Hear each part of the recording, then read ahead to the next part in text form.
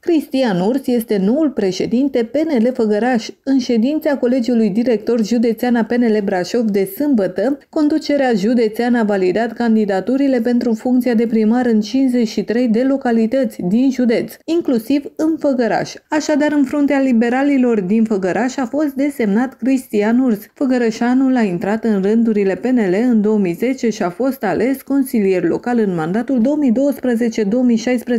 Pe o pagină de social socializare, Cristian Urs a declarat că Mulțumesc domnului ministru Adrian Veștea și colegilor liberali pentru încrederea pe care mi-au acordat-o. Sunt hotărât să lupt pentru viitorul orașului în care m-am născut și pentru oamenii care trăiesc aici. Am intrat în rândurile PNL în 2010 și am fost ales consilier local în mandatul 2012-2016. După 8 ani primesc o nouă provocare de a conduce destinele PNL Făgăraș. Voi avea mereu în minte că această funcție a fost ocupată de oameni de onoare ai Făgărașului, precum precum domnul avocat Gheorghe Gabor și domnul profesor Traian Duță. Este un motiv temeinic de a le urma exemplul de bun făgărășeni și de oameni care au reprezentat cu demnitate acest oraș. Chiar dacă ne privesc acum din cer, eu i-am păstrat în inimă și voi face tot efortul să mă ridic la înălțimea idealurilor pe care aceste personalități le-au avut mereu. În făgăraș trebuie să renască încrederea. A transmis Cristian Urs, noul președinte PNL Făgăraș.